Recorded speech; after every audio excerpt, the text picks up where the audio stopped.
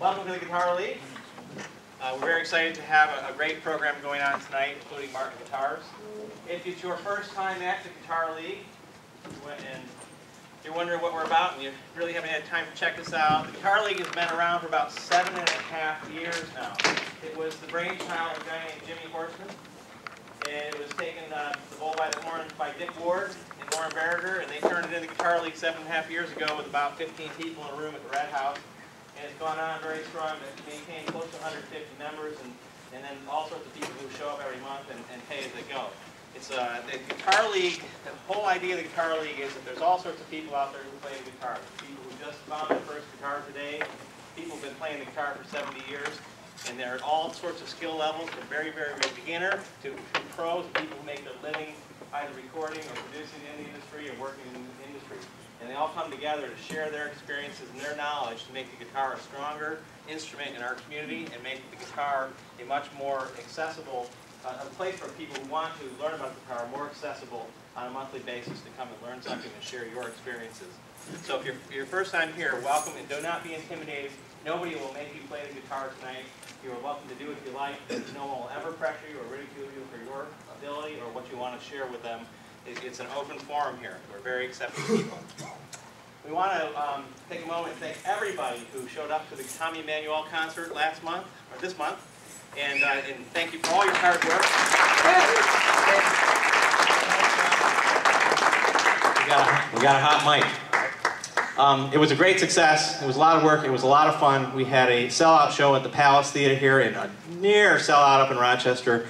And it was a heck of a good time. And if you happen to miss it by chance or you didn't know that you were supposed to be there, the next time Tommy comes to town, it's someplace that you're going to want to be.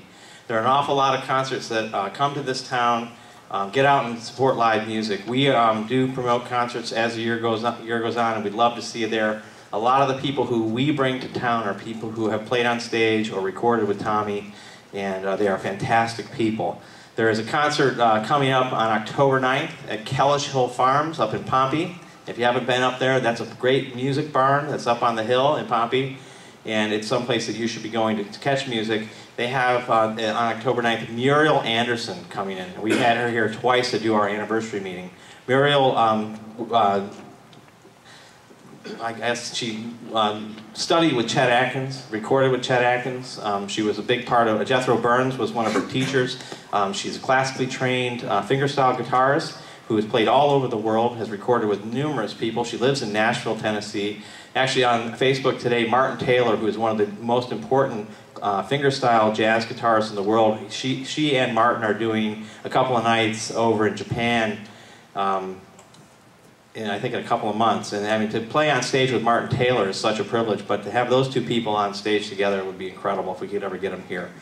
Um, I want to bring up a, a guy who's uh, a promoter locally here who puts on an awful lot of music. He's, um, he, he, does a lot of different venues in town. He wants to share some of the performances that he's bringing into town. His name is Tom Honan from Live Space Entertainment.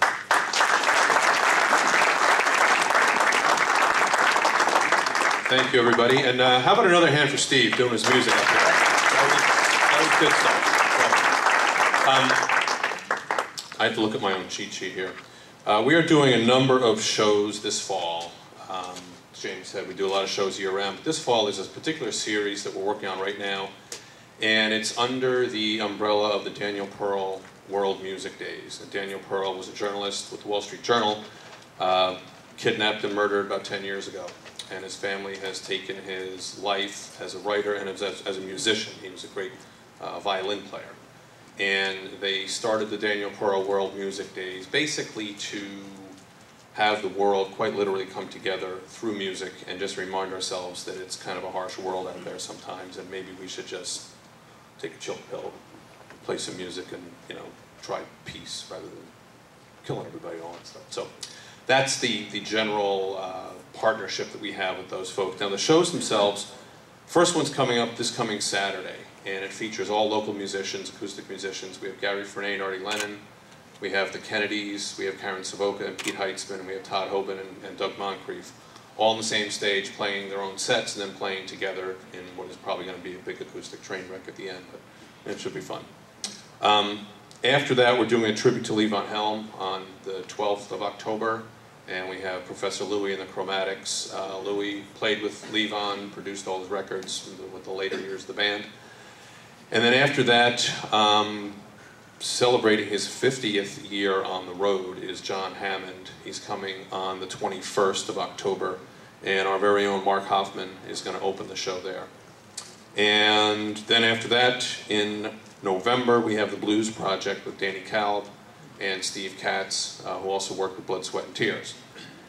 Then on the 14th, and right the, the night after that, we have Acoustic Poco, and uh, they're coming up here, just their acoustic stripped down show, just three of the guys, uh, including Rusty Young.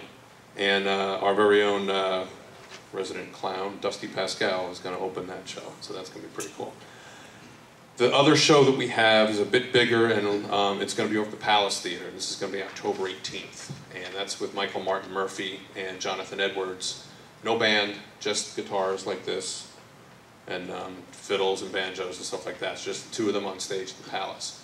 And all these flyers, as Mary has them out at the front desk. Um, what I like to do is for Guitar League members, uh, give you four bucks off each ticket, many as you want, and uh, however many shows you want to come to.